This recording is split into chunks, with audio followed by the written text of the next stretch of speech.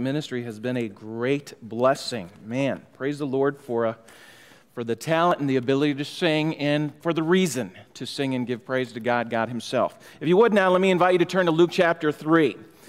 Luke chapter 3, we're going to go over the ministry of John the Baptist or John the Baptizer. In the text this morning, we'll read about two types of baptisms.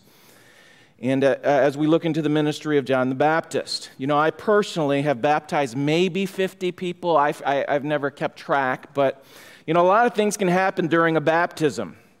I remember seeing one YouTube video where a pastor, you know, he's in the pool and he waited for this uh, grade school boy to come down.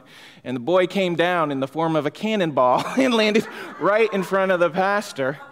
So things like that can happen. You know, I was, I was baptizing a seven year old girl, and I, I wasn't sure if she was ready for it or not, but, you know, we're waiting in the wings in the back, and, um, and she's going, I'm going to swim to you. I'm going to swim to you. I'm swim, swimming to you. You know, I'm like, no, you're not. You're going to walk to me and you're going to get baptized like, like a, a normal person, right? Um, I, I, once baptized a, a, a, very large man. He was, a, he was a truck driver, a little bit taller than me and almost, you know, another width of me. You know, he had girth and uh, he had a bad knee. And uh, I told him all that was going to happen. I said, I've never lost anybody. You know, no one's ever drowned in this case. But uh, he, he, just wouldn't, he, he, fought me when he was getting baptized. Um, he would put his arm down and he wouldn't go underwater. and so I literally had to climb on top of him and, and I got him under. And the waves, man, the waves from all that displacement was, uh, it, was, it was quite the feat. But, um, you know, a lot of things can happen during baptism. I read about this one young pastor who got a little bit worse than what I'd had. You know, he's fresh from a Baptist seminary. He was conducting his first baptismal service, and in his nervousness, he got his scriptures conf- confused concerning baptism and the Lord's Supper. So he's baptized, and he goes, I now baptize you in the name of the Father, and of the Son, and of the Holy Spirit. And as he lowered the convert into the water, he added, And now drink ye all of it. and held him under. But but that didn't happen to me, praise the Lord. But you know, things can happen during baptism. We're going to look at several types of baptism this morning the baptism of John, the baptism of repentance, and the baptism in which Jesus Christ will baptize. But go ahead and turn to Luke chapter 3. We'll read verses 1 to 6 for the beginning. the ministry of John the Baptist here, and we'll see the message of John, verses 1 to 6. Now, in the 15th year of the reign of Tiberius Caesar, Pontius Pilate being governor of Judea, and Herod being tetrarch of Galilee, and his brother Philip, tetrarch of Iturea, and the region of Trachonitis, and Lysanias, the tetrarch of Abilene, Annas and Caiaphas being the high priests, the word of God came unto John, the son of Zacharias, in the wilderness. And he came into all the country about Jordan, preaching the baptism of repentance for the remission of sins. As it is written in the book of the words of Isaiah the prophet, saying, The voice of one crying in the wilderness, Prepare ye the way of the Lord, make his path straight. Every valley shall be filled, and every mountain and hill shall be brought low, and the crooked shall be made straight, and the rough ways shall be made smooth, and all flesh shall see the salvation of God. And so we here see the message of John, and we see through the people, the historical figures, the when of his preaching. Luke names here, by the way, Luke is the most historian like of all the gospel writers. And he names seven people that are historically verifiable. And, and roughly, this is around AD 29. We have Tiberius Caesar, the emperor, Pilate the governor, Herod Antipas, the, the, the, most famous of the tetrarchs over Galilee, two other tetrarchs, Philip and Lysanias, Annas and Caiaphas being the high priest that year as well. So Six secular or seven secular leaders are tied into this verse here. Okay, so secular leaders in secular history tied to scriptural promises of a forerunner of the Messiah. So here, our faith is grounded in history. It is documented. It is, you can't doubt this. More than, more than um, uh, his, historians have recorded these people being uh, leading in this government in this time. So our, our faith is well grounded in history. But all these, all these hi- historical figures, these secular leaders, God's word didn't come to them. God's word was, was not sent to any of them. Instead, the message of God came to John the Baptist, a humble Jewish prophet. but everybody had, uh, you know, a dog in the race, so to speak. You know, political Rome, political Israel, religious Israel, they were all concerned about the movement that was occurring with John the Baptist. Thousands, if not tens of thousands, were attending to, the, to, to his ministry. And uh, we see that is about when he preaches, when all these men were leading in their respective spots or positions. We see what he preaches there in verses 3 to 6. He says, Repent, essentially, of your sins and be baptized and prepare the way of the Lord. According to Isaiah 40, God's promise, his prophecy, is that God will deliver his people and give them the comfort of salvation.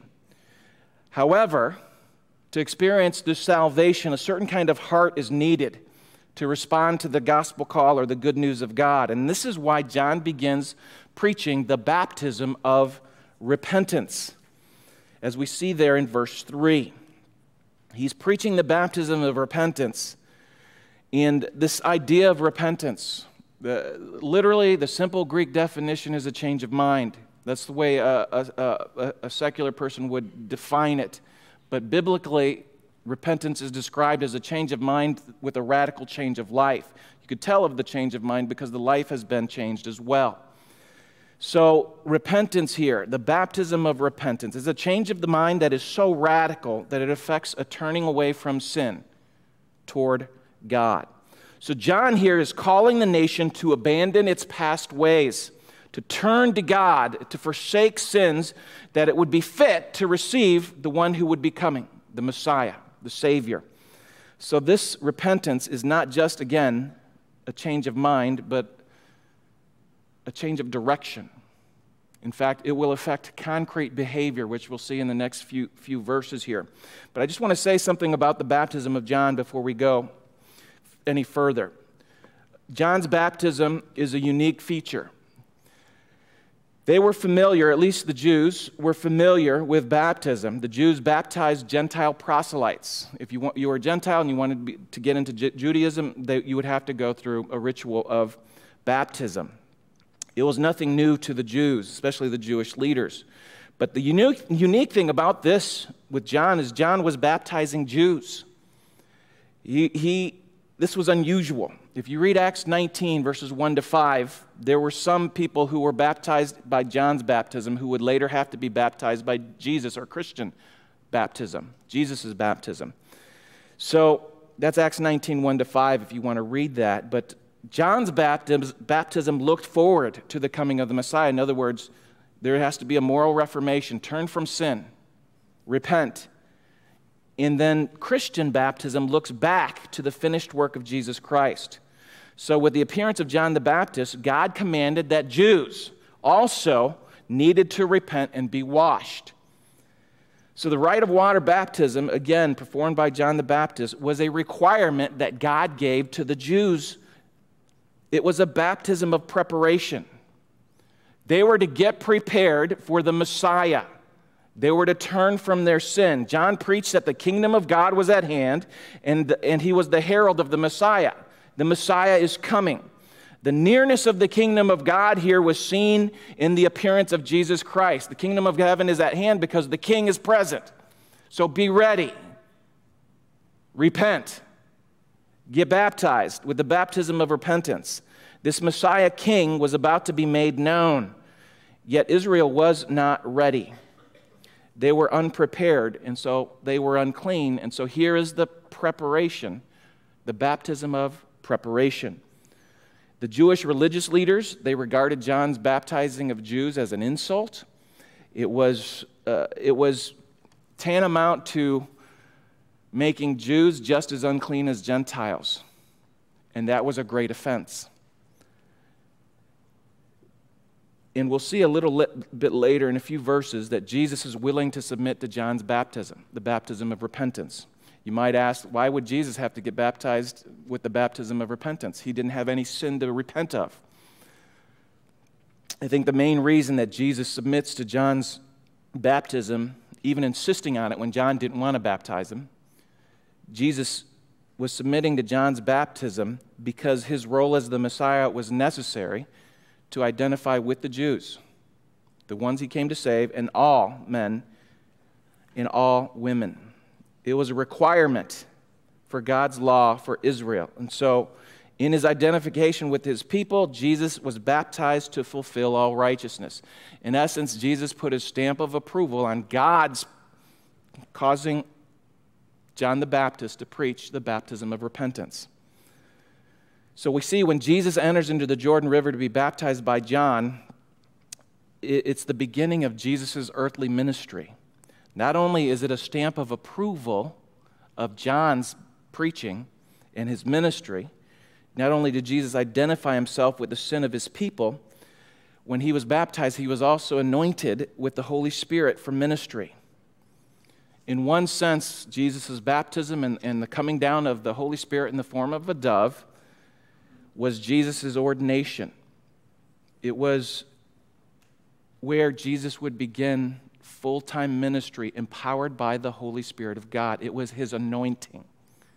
He was anointed with the Holy Spirit of God. You'll read in Luke chapter 4, verse 21, where Jesus says, The Lord has anointed me. He'll read the scripture from Isaiah and he'll say, This day is this prophecy fulfilled.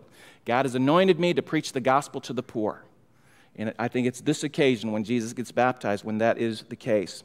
So that's Luke 4:21 if you want to follow through with that. But look at verse 4 now. In verse 4, it says, As it is written in the book of the words of Isaiah the prophet. So John was a prophet who was the subject of prophecy. He is the forerunner. He's the one that would be coming. He would be the voice crying out in the wilderness. So, you know, literally, he was in the wilderness along the Jordan River. Personally, I think he was at a place called Bethabara, where, uh, where um, Joshua and the people crossed the river and then set up 12 stones of remembrance. I think those are the stones that uh, John will point to and say, don't say, don't say that because you're children of Abraham that you're, you're a child of God or a child of his covenant. God can even raise from these stones, these 12 stones of remembrance, children of God, children of Abraham. But anyway, um, John 4, he, he says some things about preaching in the wilderness. It says, as it is written in the book of the words of Isaiah the prophet, saying, The voice of one crying in the wilderness, metaphorically speaking here. Israel was a wilderness. They were dry and fruitless. They were barren, encrusted with legalism by Pharisees and, and, and um, self righteous Jewish leaders. It was an arid and a cheerless nation. And so, in order for them to be ready for the coming of the Lord, the people had to go or undergo a moral change the picture here, as it's stated in verse 4, that there had to be a coming in which prepare ye the way of the Lord to make his path straight, right? Every, every, every valley shall be filled, every hill and mountain shall be brought low. All these, this picture that is, that is given to us through this prophecy of Isaiah, which is John will be fulfilling John called upon people to do something, okay? It was not a matter of repairing the literal roads or flattening the mountains. It was a matter of preparing their own hearts to receive the Messiah who would come. And I think in picture, when he says, Every valley shall be filled, every mountain shall be brought low, every crooked way will be made straight, it is a metaphorical picture of what individuals will have to do with their own hearts. For instance, the effects of Christ's coming are described as followed here Every valley shall be filled. In other words, those who are truly repentant and, brought, and humble themselves, they will be filled. They will be saved and satisfied and filled with the goodness of God. Every mountain and hill shall be brought low. Those who are proud and self righteous, like the, the, the, scribes and the Pharisees who tried to earn their way into heaven, they who were haughty and arrogant they would be brought low, they would be humbled. They would have to humble themselves, if not humbled by God. The crooked places shall be made straight. Those who are dishonest, those who we would call shysters and crooked like the tax collectors, they themselves would have their characters straightened out. These crooked ones would have to be straightened out. And those where, where the text says, and the rough ways shall be made smooth. Soldiers and others with rough and crude temperaments and character, they would have to be tamed and refined. I think in the context, that's the metaphor because we'll see those people asking John, What should we do? How shall we prove our repentance or show our repentance sincere? Look at verse 6. It says, All flesh shall see the salvation of God. The final result, as, as, as you're preparing for the king and the Messiah to come, is that all flesh, not only Jews, but Gentiles as well, they shall see the salvation of God. So we see the when during the time when those leaders were. We see the what, the baptism of repentance and the preparing of the way, getting ready to receive the Messiah, being, being willing to turn from sin and to believe that Jesus Christ is Messiah the King. So now let's look at verse 7 here as we see who, who he preaches to. Verse 7 Then said he to the multitude that came forth to be baptized of him, O generation of vipers! who hath warned you to flee from the wrath to come. Bring forth, therefore, fruits worthy of repentance, and begin not to say within yourselves, We have Abraham to our father. For I say unto you that God is able of these stones to raise up children unto Abraham. So here we have who? Who, who are they preaching to? The Jewish, the Jewish leaders and the lay people. He's blunt, he's not politically correct. Now look at verse 9. He warns of judgment. Okay, he says, And now also the axe is laid unto the root of the trees. Every tree, therefore, which bringeth forth not good fruit is hewn down and cast into the fire. So, to, to the religious leaders, to the lay people, he is, he is warning look, Christ's coming is going to test the reality of your repentance. Christ's coming will reveal the thoughts and, and intents of your heart and what you believe about him. The axe is laid to the root of the tree. This is a powerful metaphor. This is speaking about judgment to come because it's going to happen. If you did not manifest the fruits of repentance, you'd be condemned. Listen to the, the words here. He says, Generation of vipers. Vipers, snakes, serpents were the most unclean animals as, as, as far as the Jews were concerned. He warns of the wrath to come. He speaks of an axe. He speaks of a tree being hewn down and cast into the fire. So these God, God's prophets here, he being the, old, the last of the Old Testament prophets, he was not politically correct. He was a great moralist. Look, turn from sin. Their words came crashing upon the, the, the helmets of their foes. Look, this is what God requires repent. Turn from sin. Change your mind about the direction of your life. Prepare for the coming of the Messiah. Now look at verse 10.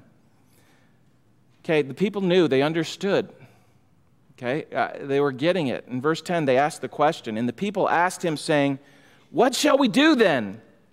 He answered and said unto him, He that hath two coats, let him impart to him that hath none. And he that hath meat, let him do likewise. So the crowds understand the message and, they ask, Look, what can I do to be holy? What can I do to avoid uh, the coming judgment or the wrath to come when the axe is laid to the root of the tree and those that are unfruitful will be cast into the lake of fire? They understood it's not the physical act of baptism that was the main issue here. The main issue, rather, is responding to God with a certain kind of heart, a certain kind of life. So they ask, What shall we do? And he's very specific. He gives specific ways in which they could prove the sincerity of their change of heart, their repentance. We see that in verse uh, uh, 11 and 12 here. Let's look at verse uh, 12. Okay, and, and in generally speaking, he says, Look, if you got money, help with those who don't have money. If you got food, if you got clothes, give those who don't have clothes. Okay, if you got more food than you need, share your food with those who need it. That's a general blanket. This is, this is one way you can repent. Change the way you live, change the way you think. And in verse 12, other people come, more specific. Then came also the publicans to be baptized and said unto him, Master, what shall we do? And he said unto them, Exact no more than that which is appointed you. So here are the tax collectors, the publicans, the, the most despised of, of Jews in Israel. They were considered traitors. They bought franchises, tax franchises from, from, from the Roman government, agreed upon price, agreed, uh, agreed upon cut the Romans would get, and they would get a certain portion, and some of them would cheat. and thus they were despised. And they, they said, okay, what do we need to do? Okay, they understood it's not just get baptized in water, but I need to turn from a sin. What do we need to do? And he's very specific to them. Don't exact more than is right. Whatever you agreed upon, what is righteous, stay. Don't tax more. That is what you should do. They were notoriously crooked, and so they would have to be straightened. Let the crooked be made straight. Now, verse 14. And the soldiers likewise demanded of him, saying, And what shall we do? And he said unto them, Do violence to no man, neither accuse any falsely, and be content with your wages. So, soldiers who are on active duty, Roman soldiers here, they were to avoid three sins that, that were common to soldiers. One, the first one, do no violence. Okay, literally, the Greek word is don't shake, don't extort, don't shake down people for money. Don't slander. And listen, you got into the uh, Roman soldiering and you agreed to the price. Be content with what your pay was. It's important, again, to realize here as we go forward these people, these men, women, were not saved by doing things. Rather, these were the outward evidences that their hearts were truly right before God and ready to receive Messiah the King, the Savior. Um, let's skip a few verses. Here's another set of people that John preached to and affected. Jump down to verse 19. In verse 19, it says, But Herod the Tetrarch, being reproved by him, that is John the Baptist, for Herodias his brother Philip's wife, and for all the evil which Herod had done, added yet this above all, that he shut up John in prison. So Luke, the historian, kind of clumps up everything that's happening with John in chapter 3.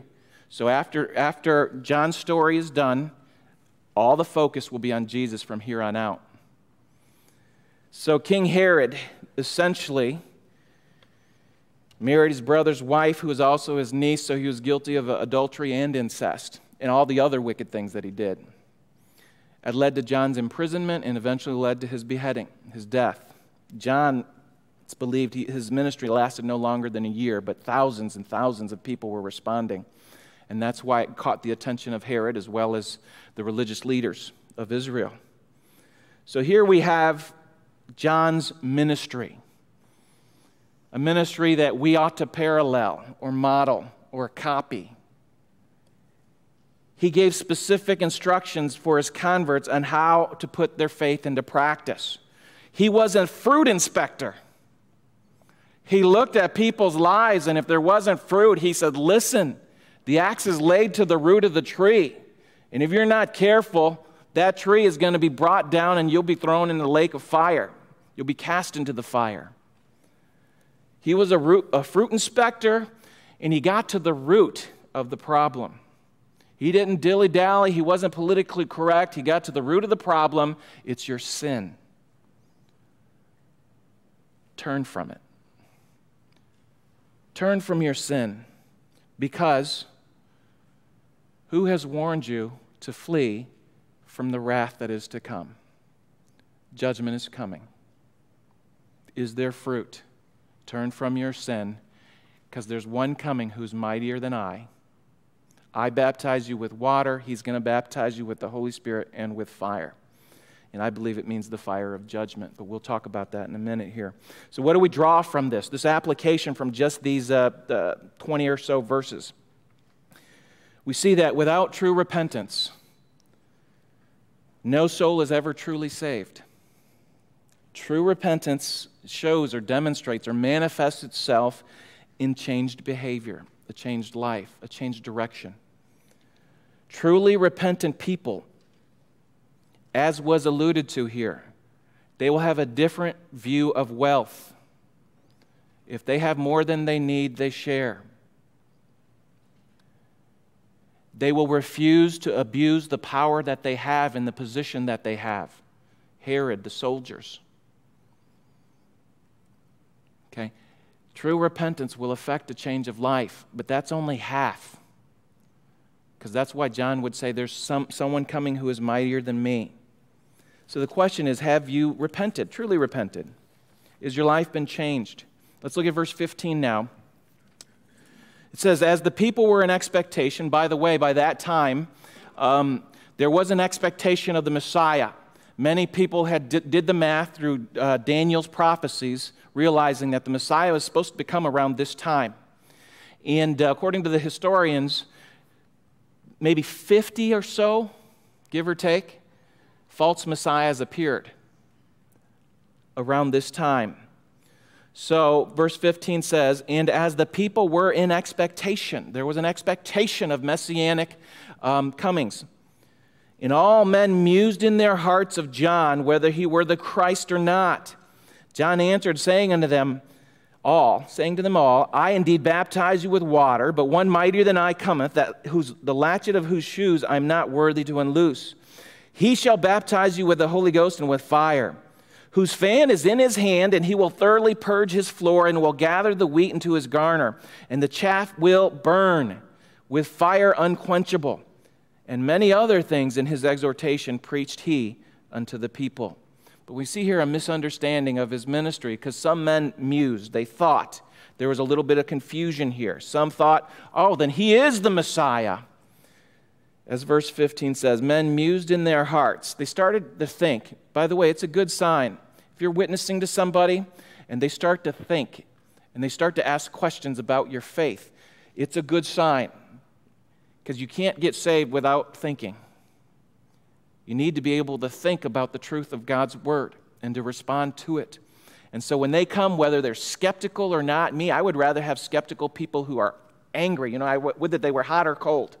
You know, you can't do much with neutral or, you know, stagnant. But if someone fights you in regards to the faith, hey, they're thinking, and you need to just keep preaching the word, preaching the word, because the word will break through if they're willing.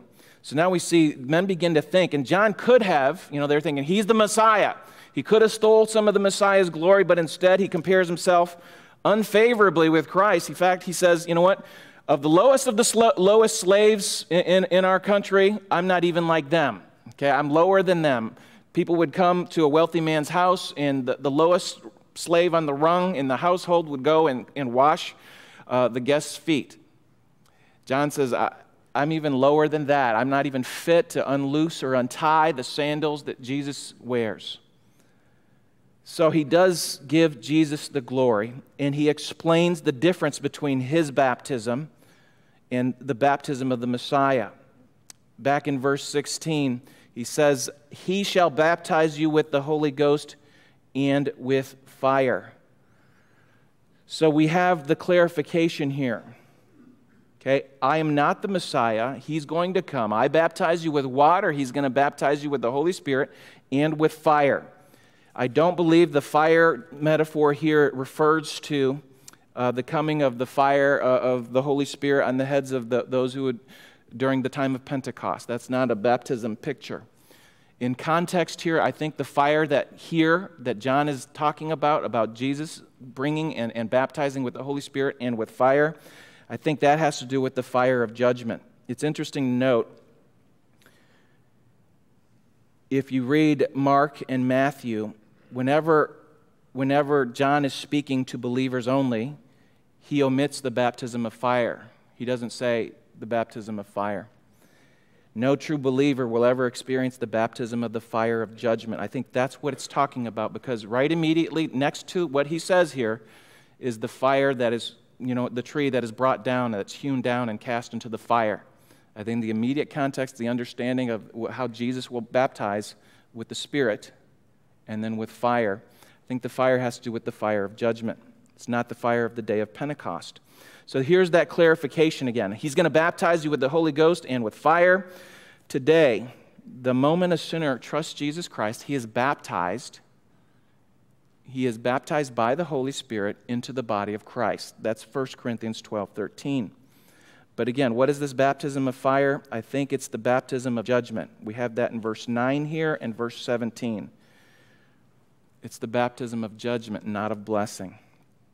he, he's, the, the picture is given that Jesus is pictured, or the Lord is pictured as a winnower, winnower of grain, you know. You, you take the shovel, you toss the grain in the air, the wind drives away the chaff, the, the waste, the good stuff falls to the ground. The waste then is taken and burned in the fire. I think that's referring to the fire of judgment.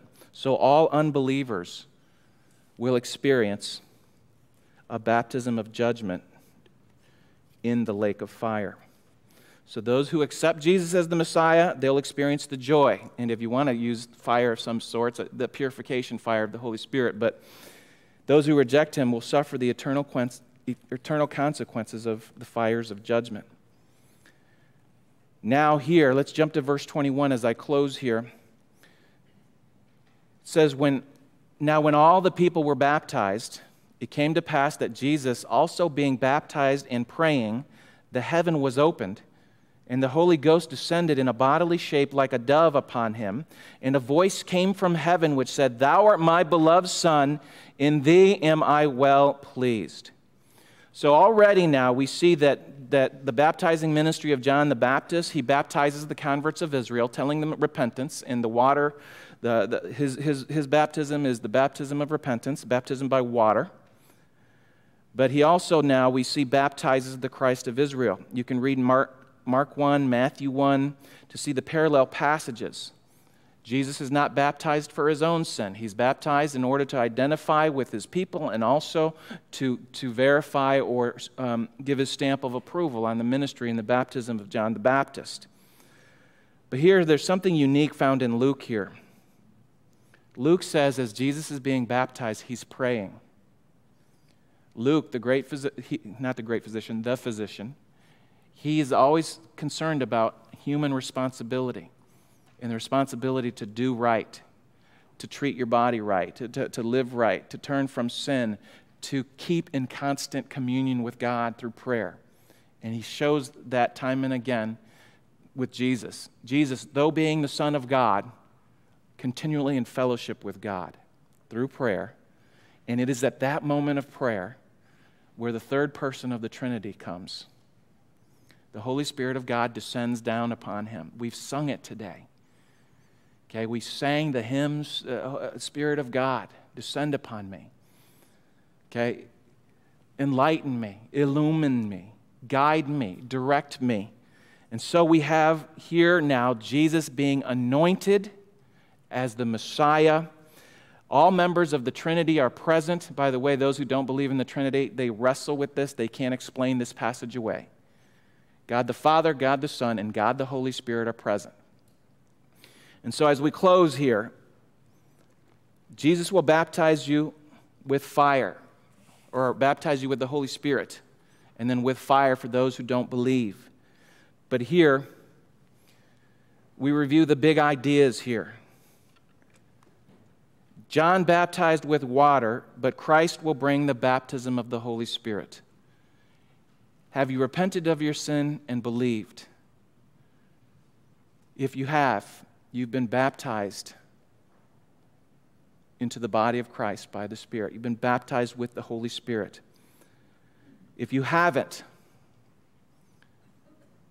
God is going to look at your life, the fruit of it. And if there is none, the axe will be laid to the root of the tree, and the fires of judgment will come. And I, like John and like every believer, has a responsibility and should have a certain urgency to say, Turn. Turn from your sin and put your trust in Jesus Christ as your Lord and Savior. We have to communicate to people that they are accountable to God and culpable to God. They will answer to God one day for their life. Are you, are you willing to do what John did here? John's calling is our calling. Remember what he said? Prepare ye the way of the Lord. Our responsibility is help people to be prepared for the Messiah. Turn from sin. Look at the fruit in their life. Warn them of the judgment that is to come. Flee from the wrath that is to come. The calling, again, of believers today is the same as John's prepare the way for others. Are you living a holy life where others can see, hey, there is a difference? Are you living in such a way that there is joy and grace where they say, hey, you've got something that I don't, and I want it? How is it that you're so strong in times of trial? How is it that you're not pulling your hair out when our, our, our country is going down, down the, the, the tubes? And you say, It's because I know God. I'm prepared. Are you? Let's pray. Heavenly Father, I do thank you for the riches of your grace. For it is in you that we trust and move and have our being.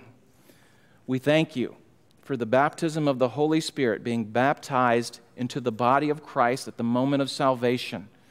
We thank you that we have his, his indwelling, the indwelling of the Spirit of God. Help us, Lord, to walk in the Spirit that we might not fulfill the lusts of the flesh. Help us, Lord, to walk in a way as to give you joy and not grief. To live with hope, to live with joy, to live in peace before the world among people who have no hope, who have no joy, and who have no peace. Thank you for the peace we have with you through, through your Son, Jesus Christ. Help us now as we draw near to you in observing your broken body in your shed blood, which was shed for us. Lord, help us to always remember the price that was paid. Help us to always remember why you did it. For the joy that was set before you, you endured the cross that you might bring many sons, many daughters, many children into glory. That your family would increase, that heaven would be stocked with those who love you. Help us to draw near in sobriety of heart, yet joy of mind and of spirit. Bless the time of, of observing the table, we pray. In Jesus' name. Amen.